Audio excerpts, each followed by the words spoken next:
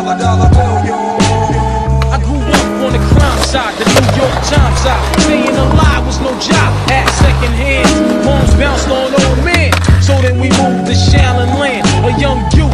You're rocking the go-to. No goose, only way I would get to G York was drug loot. And let's start it like this, son. Rolling with this one and that one, pulling out gas for fun. But it was just a dream for the team who was a fiend. Started smoking booze at 16 and running up in and doing hits by high stakes. Making my way on fire escapes.